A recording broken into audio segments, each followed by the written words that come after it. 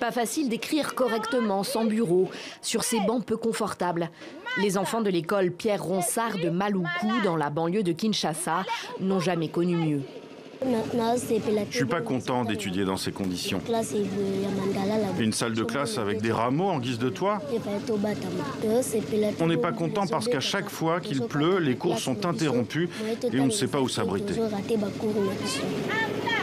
La pluie ou le soleil qui tape fort parfois.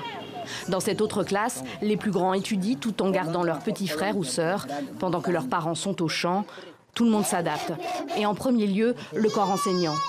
Les instituteurs, tout comme le directeur, ici dans son bureau, en plein air, travaillent bénévolement depuis presque deux ans. La faute au gouvernement qui ne leur verse pas le salaire promis depuis l'instauration de la gratuité de l'enseignement.